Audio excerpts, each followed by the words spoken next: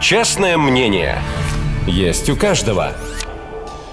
Михаил, добрый вечер. Спасибо, что нашли время для этого небольшого интервью. Расскажите, пожалуйста, о том автопробеге э, в поддержку российских военных, который не случился во Франкфурте на Майне. Добрый вечер. Во-первых, большое спасибо, что пригласили. И сразу небольших две корректировочки. Э, пробег таки на самом деле не случился, был запланирован во Франкфурте после того, как был огромный страшный пробег в Берлине, в котором участвовало 750 машин, на многие часы было заблокировано движение в Берлине, и вот эта картинка с российскими флагами, с георгиевскими лентами, всем, кто против войны, кто уже шестую неделю фактически живет в состоянии войны, независимо от места проживания, очень долго была в голове, очень сильно затронула. А второй пробег был не провоенный, официально не был заявлен как поддержка военной операции, либо напрямую войны. А как его Но заявляли? он был так упакован. О? Как его заявляли? Он был упакован, вот как раз хотел это рассказать, он был упакован как э, демонстрация против притеснения русскоговорящих жителей в Германии и против геноцида над русскими.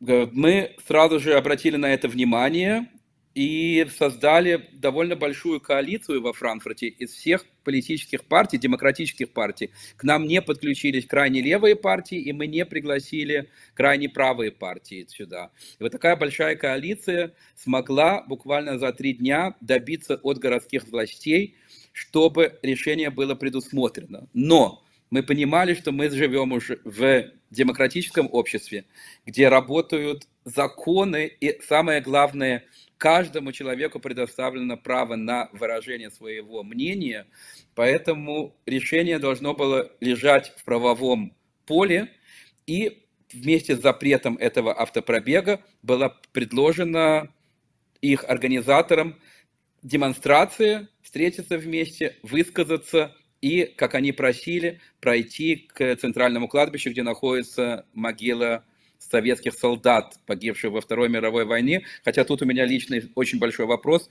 почему именно эта группа считает, что похороненные во Франкфурте советские солдаты как-то должны их олицетворять, представлять. Там точно так же похоронены и евреи, и украинские солдаты.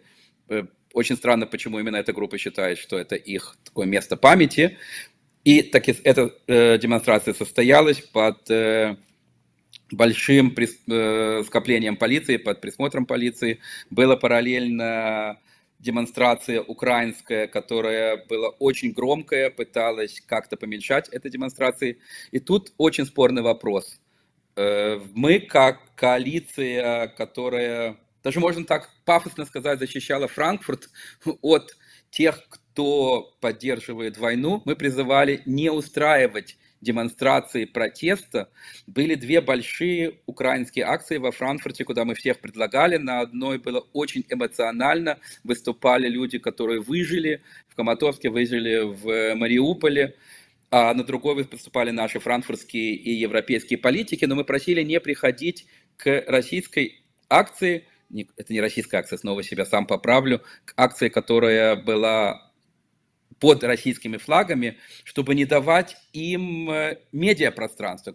Но, угу. конечно, это все очень эмоционально, многие пришли, и было очень громко, шумно, неприятно. А, Михаил, а смотрите, вот наверняка скептики, глядя на наше интервью, скажут, а как это, вот хваленая Европа, там же свобода слова, почему одним можно, да, а другим нельзя? Как вы Тут мы имеем это? Тут мы имеем, наверное, две стороны той самой медали. Всем можно. Пока свое личное мнение изъявляется в правовом поле, можно всем и все. Но как только хоть даже чуть-чуть переходит закон, то накладывается государством очень сильные ограничения. И как раз под этим законом или под использованием этих правил был проведен разговор с организаторами автопробега, им была разъяснена правовая ситуация и была достигнута совместная договоренность о том, чтобы заменить автопробег вот этим митингом. Кроме того, было изменено название акции. Если раньше это было только против дискриминации русскоговорящих в Германии, к названию акции добавились, а также за мир и против войны. Вот это против войны было для нас очень-очень важно, потому что так как теперь акция была за мир и против войны, а не только за так называемую дискриминацию русскоязычных э, в Германии, то, соответственно, были городом наложены соответствующие ограничения. Например, было запрещено использовать георговскую ленту как символ агрессии. Запрещены были Z и V буквы как символ вторжения в Украину. Было запрещено оскорблять украинский народ, украинское правительство. Было запрещены даже советские флаги, э, включая флаги непризнанных республик, как флаги агрессии. Эм, даже были такие моменты, когда полиция обращала внимание на белорусский флаг, который, к сожалению, там присутствовал. Тот, который мы не считаем флагом, но все еще является красно-зеленый страны. Именно красно-зеленый той страны, которая держит в своих синих пальцах господин Лукашенко, бывший президент – то этот флаг был, к сожалению, разрешен, потому что он является официальным флагом. Но вот советский красный флаг был в том числе запрещен на этой демонстрации как э, символика, не подходящая под те законы, в рамках которых проходила акция. Угу. Михаил, а какую роль сыграли белорусские и э, российские диаспоры, представители этих диаспор, которые все-таки выступают за мир, э, за остановку этой войны? Для нас было очень важно чтобы такая акция во Франкфурте не произошла.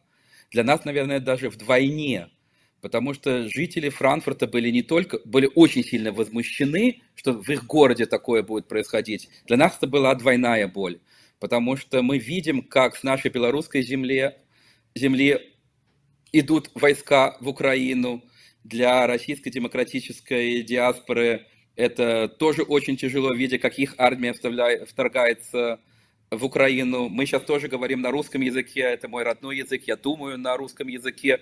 И чувствовать, что на этом языке отдаются приказы уничтожать мирных жителей, стрелять в мирные районы, в спальные районы. И эти приказы отдаются на моем родном языке. Эта армия стартует с моей родины. И теперь круг фактически замкнулся.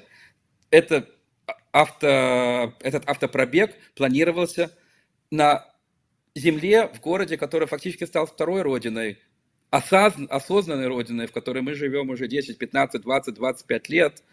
И это было бы для нас очень тяжело.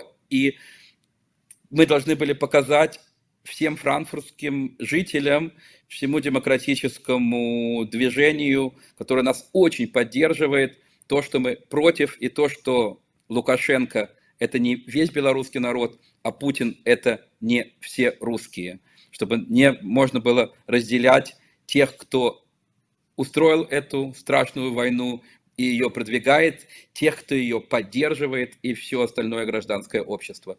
И, к сожалению, после страшных картин, которых мы видели последнюю неделю, когда стало известно о злодеяниях российской армии под Киевом и обстреле беженцев на вокзале, который случился в прошлую пятницу, риторика становится еще более жесткая. Я уже убежден, что каждый, кто относится к этой группе, кто родился и вырос либо в России, либо в Беларуси, живет давно за границей, уже не только должен помогать, помогать беженцам, помогать материально, он не должен молчать. Мы должны быть активны Каждый, кто сейчас не выступит активно против войны, каждый, кто не покажет разгранич... разграничение между теми, кто ведет эту войну, и теми, кто против, в моих глазах становится соучастником. Никто не должен молчать, все должны быть активными. Это тот самый момент, когда гражданская позиция не пустые слова, а должна становиться частью жизни. Ну и напоследок, э, кажется ли вам, что остальные страны э, подхватят вот этот пример э, Франкфурта на Майне и э, ваш э, пример вашей коалиции и э, будут таким образом препятствовать проведению э, подобных автопробегов и в других европейских странах? В вашем ответе уже был спрятан в вашем вопросе уже был спрятан ответ, потому что вы сказали коалиция. Вот это основной ответ. Уже спрашивали некоторые российские диаспоры в Германии, как можно такому противостоять, и ответ именно коалиции. Собираться вместе, работать вместе с политическими партиями, с общественными организациями. Только вместе широким фронтом можно противостоять небольшой части русскоязычного населения, которые к сожалению, повторю несколько раз, к сожалению, либо пали жертвами такой профессиональной массивной пропаганде, либо просто живут еще мысленно там, в Старом Советском Союзе. Только вместе, только широкой коалиции можно противостоять, и не только в других странах, а и в других немецких городах. Мы надеемся, что такие автопробеги не будут больше происходить на земле, немецкой. Спасибо огромное. С нами на связи был координатор проекта «Народное посольство» Михаил Рубин. Спасибо, Михаил. Спасибо. Честное мнение.